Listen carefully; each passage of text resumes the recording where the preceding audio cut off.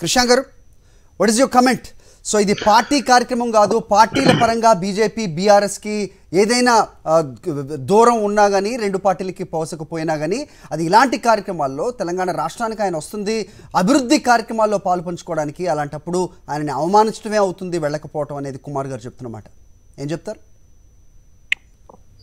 అంటే ఒకటండి హరి గారు ఓపెన్ అయిన దాన్ని మళ్ళీ ఓపెనింగ్ చేయడానికి ఇది మొదటిసారి కాదు. గతంలో రామగుండము ఎరువుల ఫ్యాక్టరీ కూడా ఆల్రెడీ ఓపెన్ అయిన దానికి మళ్ళా వచ్చి పునర్ప్రారంభం నరేంద్ర మోదీ గారు చేయడం. ఇవాళ మళ్ళా ఒకసారి కూడా ఆల్రెడీ ఫంక్షనింగ్లో ఉన్న ఎయిమ్స్ దానికి మళ్ళా పునర్ప్రారంభం చేయడం. మరి నరేంద్ర మోదీ గారి ఈ పొలిటికల్ స్టై స్టైల్లో మరి రాష్ట్ర ప్రభుత్వాలు ఫిట్ ఇన్ అవ్వట్లేదు. ఎందుకు అని అంటే మీరు గమనిస్తే ఒక ప్రధానమంత్రి నిజంగా ప్రధానమంత్రిగా వచ్చినప్పుడు నేరుగా ఎయిర్పోర్ట్ దగ్గరనే రాజకీయ సభ పెట్టేసి మీరు ప్రభుత్వానికి వ్యతిరేకంగా మాట్లాడడం రాష్ట్ర ముఖ్యమంత్రికి వ్యతిరేకంగా మాట్లాడడం. ఏ ప్రధానమంత్రి మాట్లాడతారు చెప్పండి? ఈ ఘనత కేవలం నరేంద్ర మోదీ గారికే ఉన్నది. ఎస్ గతంలో ఏ భారతదేశ ప్రధానమంత్రి మన్మోహన్ సింగ్ గారు కానివ్వండి స్వర్గీయులు వాజ్పేయి గారు కానివ్వండి వీళ్ళెవ్వరు కూడా ఈ ధోరణిలో వెళ్ళలేదు. కేవలం నరేంద్ర మోదీ గారే ఫక్తు రాజకీయ నాయకునిగా బీజేపీ నాయకునిగా ఇక్కడికి వస్తున్నారు. ఇది మీరు రాజకీయంగా డైరెక్ట్గా నేరుగా ఎయిర్పోర్ట్ల నుంచే మీరు సభలు పెట్టేసి మీరు మాట్లాడినప్పుడు ఎక్కడ ఇంకా ఒక ప్రధానమంత్రి ముఖ్యమంత్రి అనే ఒక వాతావరణం ఎక్కడున్నది? ఫెడరల్ సిస్టమ్ అనే వాతావరణం ఎక్కడున్నది? మీరు రాష్ట్ర ప్రభుత్వం మీరు అంటున్నారు కదా రాష్ట్ర ప్రభుత్వం రిప్రజెంటేషన్స్ ఇస్తుంది పిటిషన్స్ ఇస్తుంది అని అన్నప్పుడు మీరు ఎన్ని బేఖాతరు చేసిర్రు? ఇవాళ మీ రాజకీయం కోసం ఒక ఎలక్షన్ ఇయర్లో మీరు ఇవాళ వచ్చి ఇవాళ ఇవాళ after nine years Narendra Modi గారికి వాళ్ళ తెలంగాణ గుర్తొచ్చి ఒక రైల్వే స్టేషన్ డెవలప్మెంట్ అని అంటున్నారు. కానీ మరి చర్చించుకుందాం ఇదే వేదిక నుంచి గత తొమ్మిది సంవత్సరాల్లో రైల్వే బడ్జెట్ని కూడా మీరు రద్దు చేసేసి సపరేట్ రైల్వే బడ్జెట్ ఉన్న దాన్ని రద్దు చేసేసి ఎట్లా నీరుగార్చిండ్రు ఇవాళ రోడ్లు నిర్మాణం అని చెప్తున్నారు. రోడ్ల నిర్మాణం మాట్లాడినప్పుడు ఆ రోడ్ల నిర్మాణంలో ఫాస్ట్ ట్యాగ్ని ఎట్లా ధర పెంచుతున్నారు? కేంద్ర ప్రభుత్వం చేస్తున్నదా హరి గారు నేరుగా ప్రజల డబ్బుల నుంచి ప్రజల జేబుల నుంచి డబ్బులు పోతున్నాయి ఇవాళ. వీరు అంటున్నది ఏంటంటే ఘనత కేంద్ర ప్రభుత్వాన్ని మేము రోడ్లు నిర్మాణం చేస్తున్నాం మేము హైవేస్ నిర్మాణం చేస్తున్నాం అని. ఒకటి పెట్రోల్ డీజిల్ సెస్లను పెంచి నేరుగా కేంద్రం ఖాతాలోకి వెళ్తున్నది. ఇవాళ దేశవ్యాప్తంగా దేశవ్యాప్తంగా వీళ్ళు ఏమంటారు? తెలంగాణ ఉన్నది కదా. నో మధ్యప్రదేశ్లో వెళ్తున్నది. తెలంగాణకు సరి సమానంగా ఉన్నది. మరి మధ్యప్రదేశ్లో కేసీఆర్ గారి ప్రభుత్వం ఉన్నదా? సెస్ రూపంలో ఇవే వీళ్ళ హైవేస్కి వెళ్తుంది నేరుగా ఫాస్ట్ ట్యాగ్ రూపంలో హైవేస్కి వెళ్తున్నాయి. మరి మీ ఘనత ఎక్కడున్నది చెప్పండి. మేము అడుగుతున్నాయి ఎన్నో ఉన్నాయి. రేల్ కోచ్ ఫ్యాక్టరీ ఉన్నది ఐటీఐఆర్ ఉన్నది డిఫెన్స్ కారిడార్ అడిగినాం ఫార్మాసిటీకి ఫండ్స్ అడిగినాం. ఇవన్నిటిని కూడా బేఖాతరు చేస్తున్నారు. ఒక్క educational institution sir medical college విషయం మీద ఏమన్నా అంటే మాకు పిటిషన్ రాలేదు మాకు ఒక లెటర్ రాలేదు జాగా ఇయ్యలేదు.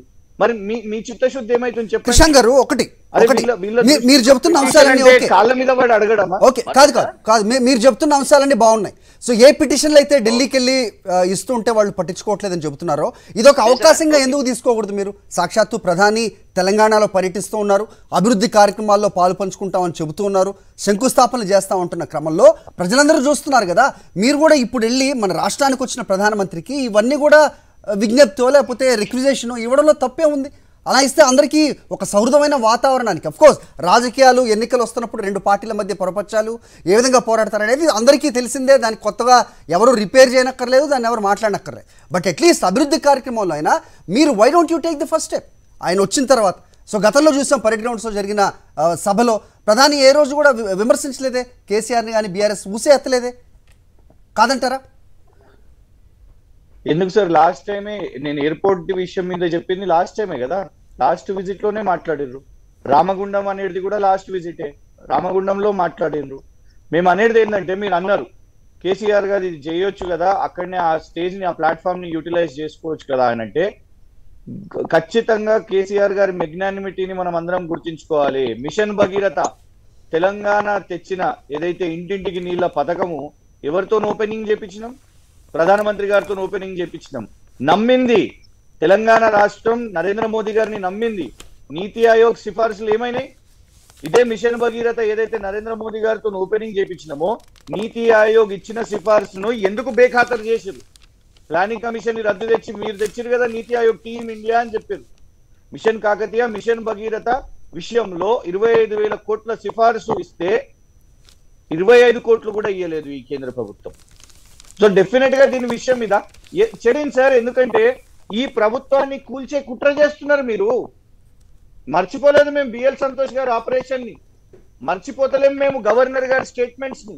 నేను తలుచుకుంటే ప్రభుత్వం కూలిపోతుంది అనే గవర్నర్ గారు ఎవరికి పనిచేస్తున్నారో అర్థమైతలేదా? అడుగడుగున ఇవాళ భారతీయ జనతా పార్టీ ఇంక్లూడింగ్ నిన్నటి పేపర్ లీక్ అంశం విషయం మీద కూడా చూస్తే భారతీయ జనతా పార్టీ కేంద్ర ప్రభుత్వంలో ఉన్నది తెలంగాణకి ఏదో చేస్తున్నది అనే విషయం మీద ఏమీ కూడా కనబడతలేదు కాబట్టి అట్లాంటి సహృదయ వాతావరణం లేదు. ఫెడరల్ వ్యవస్థను కూనీ చేస్తున్నది నరేంద్ర మోదీ గారి ప్రభుత్వం. సిబిఐ ఈడీ ఐటీ దాడులు ఇవాళ చేస్తూ ఉన్న క్రమంలో ఎట్లుంటుంది చెప్పండి. We we cannot fake KCR గారు కెనాట్ ఫేక్ సింగరేణి నమ్మకానికి పెడుతున్నారండి. వీ షుడ్ రిక్వెస్ట్ మేము మేము ప్రొటెస్ట్లో ఉన్నాం. We are fighting with you at protest auctioning ఎందుకు వస్తుంది? రామగుండంలో మీరు ఏం అబద్ధం చెప్పారు సింగరేణి అమ్మకానికి లేదు అని చెప్పారు. కానీ ఒకవైపు ప్రధానమంత్రి అట్లా మాట్లాడుతూ ఉంటాడు ఇంకో వైపు కి మనకు సింగరేణి కనబడుతూ ఉంటుంది. రాష్ట్ర ప్రభుత్వాలకు వద్దు కూడా రాష్ట్ర ప్రభుత్వాలు వద్దు మీరు వేలం పాటు చేయకండి మాకు అప్పచెప్పండి అని అన్నా కూడా వీళ్ళు వేలం వేస్తున్నారు. రాష్ట్ర ప్రభుత్వాలు కూడా మీరు ఆక్షనింగ్లో పాల్గొనండి అని అంటుంది మన మన ఆస్తులను ఎందుకు అదానిని రిజెక్ట్ చేసినందుక? మోదీ గారి అదానిని రిజెక్ట్ చేసినందుక? తెలంగాణ రాష్ట్రం కేసీఆర్ గారు ఇవాళ ఇది మేము బర్దాష్ చేస్తున్నాం. అంటే ఈ విధాన ఈ విధానపరమైన వ్యత్యాసాలు ఈ విధానపరమైన వ్యతిరేకతే దీనికి కారణమా? లేదంటే కవితను ఢిల్లీ పిలిపించి ఈడీ విచారణ అవ్వచ్చు. సో ఈ అన్ని క్రమంలో దాంది కూడా ఇక్కడ రిఫ్లెక్ట్ అవుతుంది అనటంలో తప్పు లేదు కదా? ఏం చెప్తారు మీరు? సో అలా రిఫ్లెక్ట్ అవుతుందా లేదా మీరు చెప్పండి? సో ఒక రకమైన ఒక రకమైన యా చెప్పండి. హరి హరి గారు state first states interest first people's interest first. ఇది కేవలం ఎన్ని ఎన్ని అంశాల విషయం మీద మేము మేము మాకు గుర్తున్నది. రైతుల. విషయం మీద వడ్ల విషయం మీద ఎంత డ్రామా చేశారు వడ్ల కొనుగోలు విషయం మీద వీళ్ళు? రోడ్డుకు దిగాల్సిన పరిస్థితి తెలంగాణ ప్రభుత్వం రైతుల పక్షాన రోడ్డుకు దిగాల్సిన పరిస్థితి ఢిల్లీ దాకా పోవాల్సిన పరిస్థితి. మంత్రులు లైన్ కట్టి వీళ్ళ కేంద్ర మంత్రులను మేము మాది కొనుగోలు అడిగే పరిస్థితికి తీసుకొని వచ్చారు వీళ్ళు. సో మేము అనేది ఏంటంటే ఎప్పుడైనా కూడా తెలంగాణ ప్రభుత్వాన్ని ఎట్ల లొంగ తీసుకుందాం అనే ఆలోచన ఉన్నది. కానీ దయచేసి ఒక స్పెసిఫిక్ ఇష్యూ ఒక లీడర్ విషయం మీద కానే కాదు. కొన్ని సంవత్సరాల నుంచి మేము నరేంద్ర మోదీ గారి పాలనను వ్యతిరేకిస్తున్నాము. హీఈస్ అబ్సల్యూట్లీ ఫెయిల్డ్ ప్రతి పాలసీ ఫెయిల్ అయింది కాబట్టి వారితో ఏ స్టేజ్ పంచుకోవడానికి కూడా డెఫినెట్గా నేను ఒక కార్యకర్తగానే అండ్ ఒక తెలంగాణ ప్రజలుగా మేము చెప్తున్నాం. మేము గర్వపడుతున్నాం. మా కేసీఆర్ గారు సో కాల్డ్ విశ్వగురు ప్రపంచ గురువు అయిన నరేంద్ర మోదీ గారిని ఢీ కొడుతున్నారు అంటే మేము గర్వపడుతున్నాము. ఇవాళ తెలంగాణ ప్రజలుగా. ఎందుకంటే పూర్తిగా అన్యాయం చేశారు అదే తల్లిని చంపి. జన్మనిచ్చిర్రు అని ప్రతిసారి మాట్లాడిరండి నరేంద్ర మోదీ గారు